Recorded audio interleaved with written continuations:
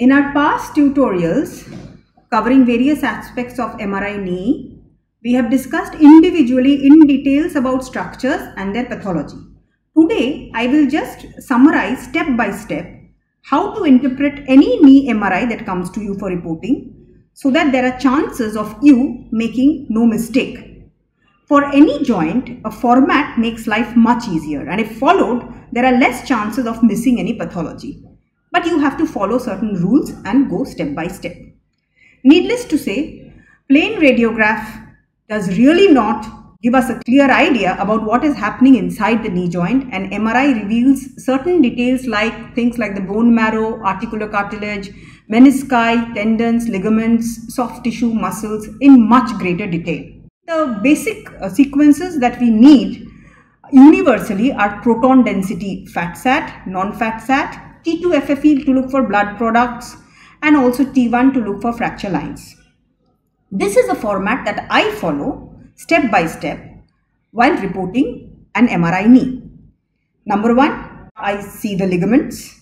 The four basic ligaments that I step by step see are the anterior cruciate ligament, posterior cruciate ligament, which are the intracapsular extrasynovial ligaments, and then I come to the collaterals.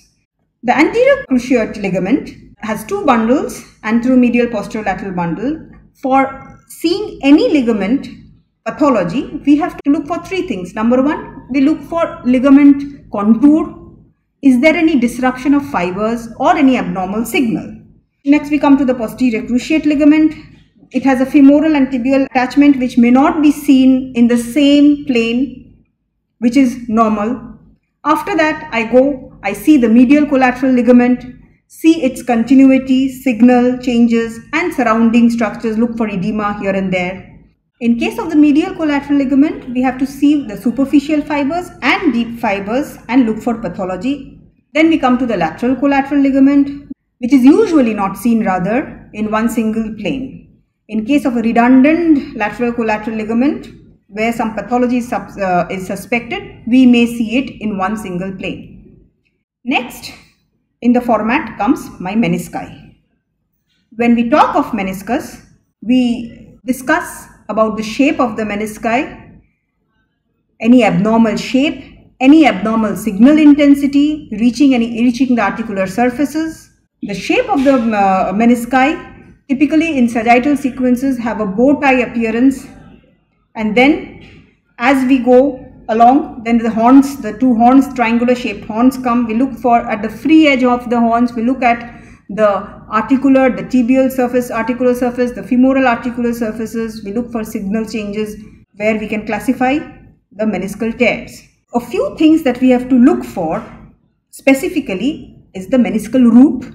The root is best seen in coronal view and we have to correlate with the axial as well as the sagittal planes for root tears. Here is one example of an abnormal uh, signal intensity which is traversing right up to the articular surface and therefore being classified as tear, another vertical tear. Next in the format comes joint space and articular cartilage. Articular cartilage intact looks like this beautifully in a PD non-fat sat image. We have to typically examine the articular surface throughout in the weight bearing and not bearing, non-weight bearing surface. This is an example of cartilage loss in the weight bearing surface. We have to measure the cartilage defect. We can also have osteochondral defects. We have to measure them. We have to see whether they are separated or not, their exact location. After that, next in the format comes the anterior extensor mechanism.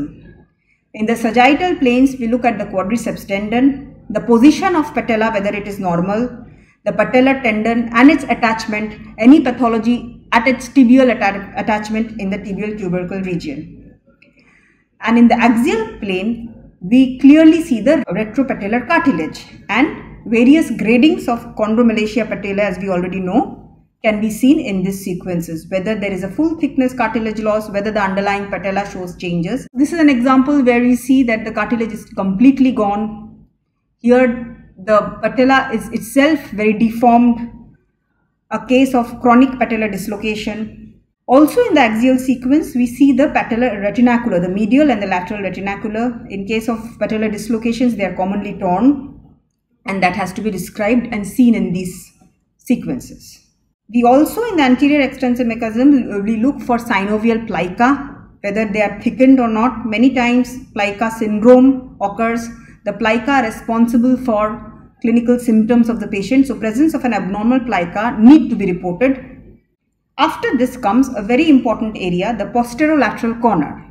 Posterolateral corner injuries are usually seen along with posterior cruciate ligament tears. Clinician usually has a doubt about posterolateral corner and gives us an idea and enables us to see that area more clearly because of their clinical doubt.